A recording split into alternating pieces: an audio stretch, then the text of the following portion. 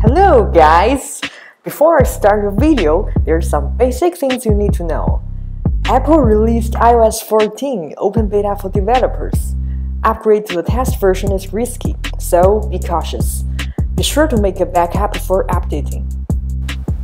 Now, I will show you how to upgrade to iOS 14. Step 1. Open Safari and search iOS 14 beta download. Step 2. Click this. Step 3.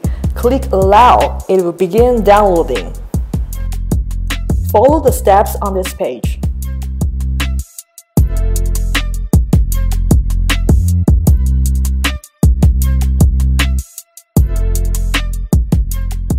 Step 4. After downloading, open Settings app. Profile downloaded. Step 5. Click Install and restart your device. Step 6. After your device has restarted, you can receive beta update in Settings General Software Update. You got iOS 14 now. Congratulations!